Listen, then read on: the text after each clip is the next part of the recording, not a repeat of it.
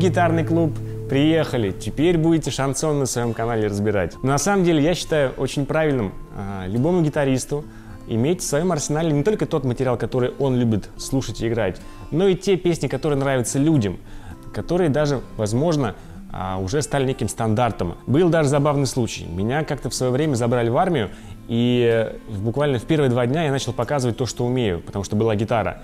Я начал играть Энди Маккея. Если помните, а, песню «Дрифтинг», там была бешеная перкуссия, какие-то тэппинг-приколы, и это действительно вызвало эффект «Вау». Но в дальнейшем это реально наскучило людям. И э, был сослуживец, который по сути, и баре не зажимал. Но когда он начал играть батарейку, которую знаю, опять же, все, это вызвало гораздо больше, большую поддержку и большее одобрение у моих э, сослуживцев, чем мое исполнение. Поэтому с тех пор я более открыт к любому материалу и вам тоже рекомендую. «Девочка Пай». А, сама по себе песня несложная, она играется в ритме вальса. То есть раз, два, три, раз, два, три, раз, два, три. А это достаточно частая история э, в песнях того времени и того жанра. Здесь я попытался в этой аранжировке совместить ритмическую секцию, э, линию вокала мелодическую и где-то даже попытался заменить скрипки. И по сути Здесь есть несколько интересных моментов, на которых бы я остановился. В первую очередь, это маленький перкуссионный элемент. Э, не то чтобы это фингерстайл, это скорее такой маленький фингерстайл. Если вы отмотаете назад, вы увидите в табулатуре крестики. Крестиками я пометил удар большим пальцем по струнам. Это достаточно простая штука, но а, ее хитрость в том, что одновременно с этим ударом указательным пальцем я атакую еще первую либо вторую струну ну, в зависимости от того, где я сейчас нахожусь. Поэтому ваша задача одновременно ударить большим пальцем и указательным пальцем по определенным струнам.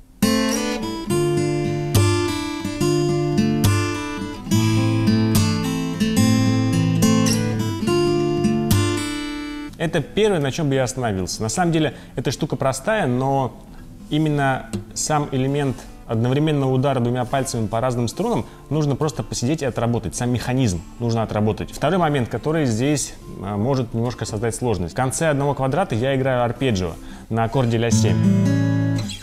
Арпеджио — это последовательно зажатый аккорд. То есть есть в аккорде четыре ноты. В случае с нашим аккордом это ля, до, диез, ми и соль. И я просто каждую ноту этого аккорда играю по очереди. Я в этом случае начинаю играть с ноты ми.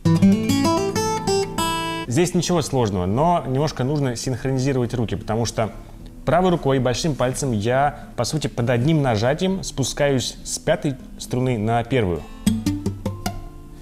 Левой же рукой я, естественно, а, играю какие-то ноты, ноты аккорда. И здесь тоже нужно немножко поработать, потому что есть моменты, где на одной струне я играю две ноты. И вот эти моменты с приемом хаммер нужно, конечно, отрабатывать. Тоже чисто механически. Просто сидеть и отрабатывать. На самом деле эту штуку я добавил так, для крутости, чтобы немножечко просто имитировать скрипки. Если помните, в оригинале там есть этот скрипичный такой проход, быстрый. Если э, не хотите его играть, то можете просто сыграть сам аккорд.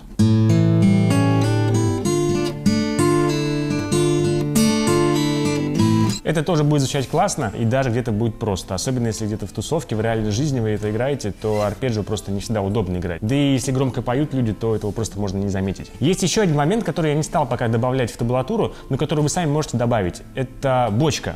То есть в некоторые из э, тактов можно добавить удар рукой в корпус. Это добавит своей импульсивности, своей мощи.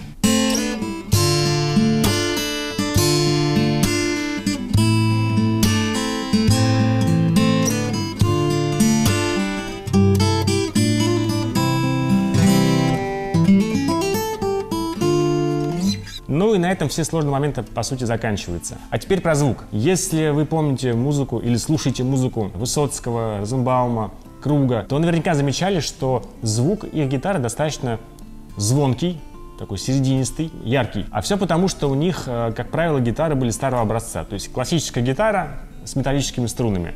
И там, по сути, никогда не было баса. И всегда был такой ярко выраженный, серединистый звук с хорошими верхними частотами. И сейчас такую гитару найти сложно достаточно. Их почти не делают уже. Поэтому, если вы себе ищете гитару с таким звуком, то обязательно присмотритесь к инструменту, который называется марьячи. Дело в том, что она сделана в Калуге. Это такой настоящий отечественный инструмент, но с поправками на современные технологии по гитаростроению. У нее достаточно такой звонкий, яркий звук, который как раз напоминает те советские гитары, но при этом она сделана уже полностью из массива.